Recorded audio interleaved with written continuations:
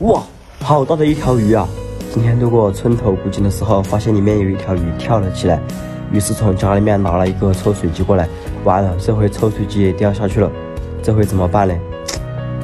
完了完了，不是吧？咱们得想个办法，把这个古井里面的水抽出来，把里面的大鱼给抓起来。想了个办法，回去家里面又拿了一个抽水机过来，这回必须把里面的水抽干，把里面的大鱼给抓起来。现在咱们把抽水机拉燃，等待抽水机把古井里面的水抽干。听村里面的老人说，这里面的鱼在足够的条件下可以长到门板那么大。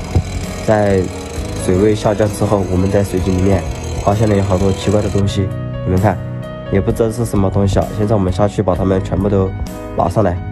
这是一个箱子，里面好像有什么东西，这好像是个保险柜。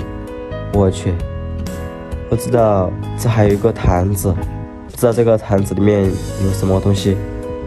我去，这也太多了吧！咱们再摸一下，看一下还有没有。先把这里面的鱼抓起来再说吧。哇塞，好大一条鱼啊！一条大鲢鱼，你们看。我去，这边还有一条，难道就是刚刚那条鱼吗？哇，直接上货一条大鲢鱼。这个大鲢鱼还挺滑的，应该有个十多斤的样子。我去，必须把他们全部都抓起来！一会儿把这些箱子打开，看看究竟有什么。